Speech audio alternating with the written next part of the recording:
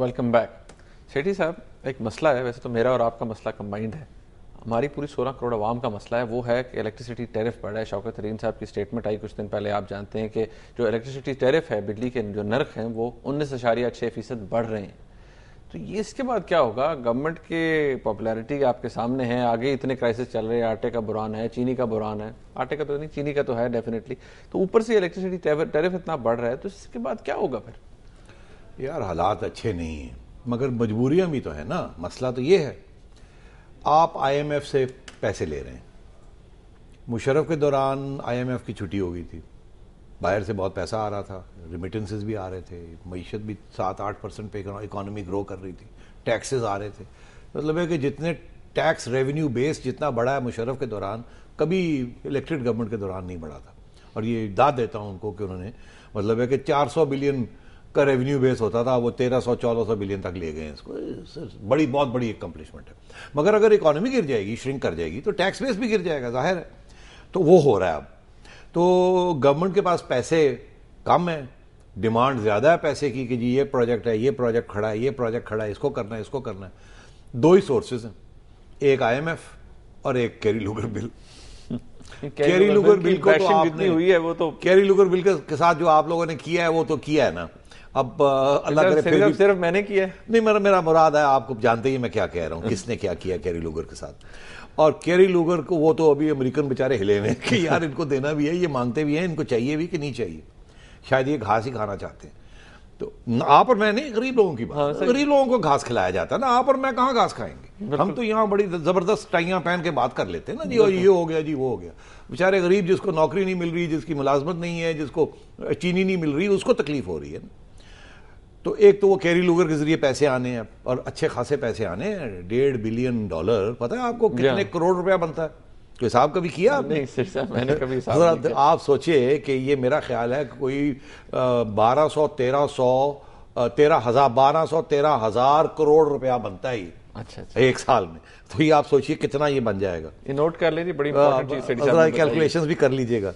हाँ, मगर मैं आपसे ये कह रहा हूँ दूसरा सोर्स है वो अभी तक नहीं आया। हम्म। वो अभी आएगा। आएगा। उस उतनी देर तक घास की तैयारी करें। अभी हम ट्रक की बत्ती के पीछे। हाँ अभी वो रेड लाइट चल रही है। अभी येलो लाइट भी नहीं हुई है। अच्छा। और रेड लाइट के ऊपर ही हम शोर डाल रहे हैं कि रेड लाइट ही रहनी चाहिए। ग्रीन लाइट की ज़रूरत नहीं है। दूसरी चीज़ ये है कि आईएमएफ आईएमएफ कहता है कि भाई पैसे मैं दूँगा आपको मगर ये किसी के पैसे हैं। ये पैसे मैं इसलिए दे रहा हूँ ताकि आगे आपको पैसे की ज़रूरत ना हो। तो इसको अच्छे तरीके से इस्तेमाल करें। अब अच्छा तरीका क्या है? अच्छा तरीका वो है कि जहाँ पैसा लगाएँ, वहाँ से फिर पैसा वापस भी आए। ये नहीं कि किसी कुएँ में फेंक दें आप। कुएँ के फेंकने के लिए कैरी लुगर आईएमएफ कहता है कि आपको मैं ग्रांट नहीं दे रहा मैं आपको लोन दे रहा हूँ। ये आपको वापस करना पड़ेगा। आप मेहरबानी करें उन चीज़ प्रोजेक्ट्स के अंदर डालें जहाँ से फिर पैसे भी आए। पैसे भी ताकि आप हमारे वापस कर सकें। और इंटरेस्ट भी हमारा और हमारा छोटा मोटा इंटरेस्ट कंसेशनरी टर्म्स होती हैं आईएमएफ की। मतलब ऑलमोस्ट फ्री होता है मगर पैसे वापस कर पैसे वापस कर अमेरिका को पैसे वापस नहीं करने। आईएमएफ को प्रिंसिपल अमाउंट वापस कम अज कम प्रिंसिपल अमाउंट तो देनी पड़ती देनी पड़ती और वो फिर तो अब वो आईएमएफ क्या कहता है? कहता है देखिए हमारा ये मसला है कि आपके पास पैसे नहीं है। अब अगर आप बिजली के रेट्स नहीं बढ़ाएँगे तो ये जो पैसा आपको दे रहे हैं, ये साल में खत्म हो जाएगा। फिर आप हमारे पास आ जाएँगे तो कुएँ वाली बात है ना। तो उन्होंने चार पाँच एरियाज़ हैं जो उन्होंने कहा है कि देखिए, पैसे हम आपको दे देते हैं, आप अपना इंफ्रास्ट्रक्चर ठीक करें। आप ये जो लॉसेज हैं, हम आपको पैसे देते हैं एनर्जी सेक्टर के लिए। आप वहाँ जो लॉसेज हो रहे हैं, उनको ठीक करें, ताकि कल को इतने लॉसेज ना हो। तो आपको पैसे देते हैं, मगर साथ साथ रेट्स भी बढ़ाएँ ताकि आपका रेवेन्यू बेस बढ़े, क्योंकि इकोनॉमी श्रिंक कर रही है। अच्छा अब मसला क्या आई है आईएमएफ प्रोग्राम में? आईएमएफ हर जगह पे कहता है कि बेल्ट को टाइट करो। क्यों? यार, आप लोगों ने बड़े मोटे हुए हैं आप, भाग सकते नहीं हैं खा खा के। अब उतना खाने का रोटी नहीं मिल रही। अब अपना वज़न कम करें फिट हो जाएँ। फिट होने की तकलीफ़ होती है। आपको भी पता है मुझे भी पता है जिम जाना पड़ जाए हर रोज और, और सब्ज़ियाँ खानी पड़ जाए और गोश्त बंद करना पड़ जाए तो तकलीफ़ होती है। बड़ी तकलीफ़ तो वो आईएमएफ आपको यही कह रहा है कि यार आपने दुनिया के पैसे ले लेके मोटे होते गए।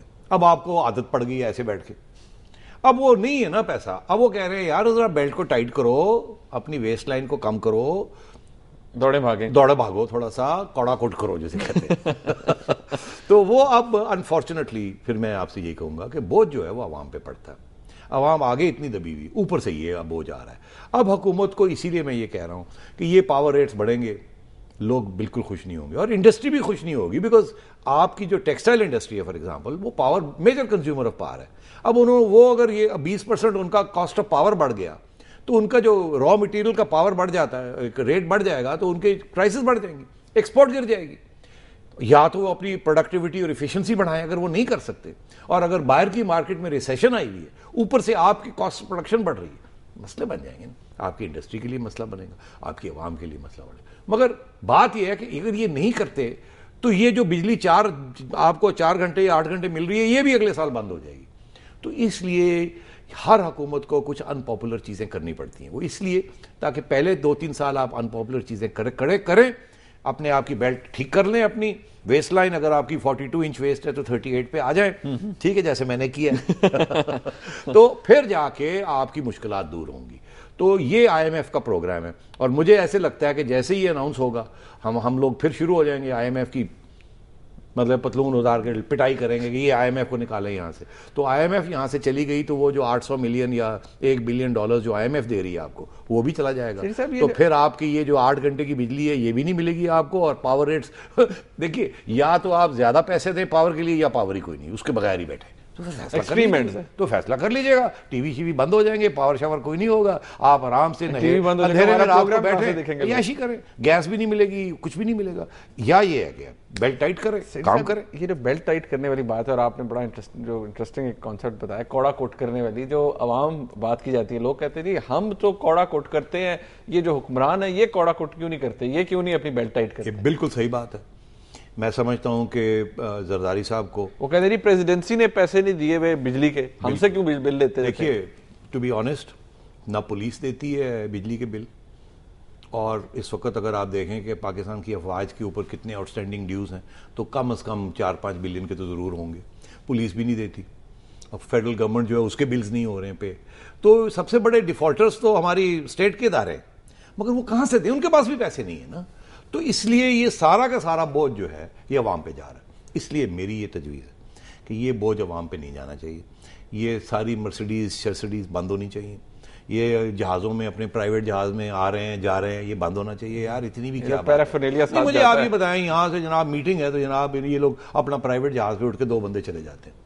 इसकी क्या ज़रूरत है? सारी दुनिया में आप कमर्शियल फ्लाइट्स लेते हैं, चार चार फ्लाइट्स हैं दिन की इस्लामाबाद के लिए। आप कमर्शियल फ़्लाइट में जाएँ कमर्शियल फ़्लाइट में आएँ तो मीटिंग्स का टाइम तय कर लें। इसी तरीके के हज़ारों केसेस हैं जहाँ आप सेविंग्स कर सकते हैं। मतलब आप देखिए सिक्योरिटी को आप बेहतर कर लें तो ये जो आपने एक दिन मैंने गिना प्राइम मिनिस्टर साहब की ऑन्टोराज में साठ गाड़ियाँ थी। हाँ। आगे पीछे वो प्राइम मिनिस्टर साहब जा रहे पीछे आगे साठ गाड़ियाँ। अब मुझे बताएँ। और उनमें से थ्री क्वार्टर्स गाड़ियाँ सिर्फ़ ड्राइवर था और कोई नहीं कोई नहीं था। तो ये क्या मज़ाक बनाया है?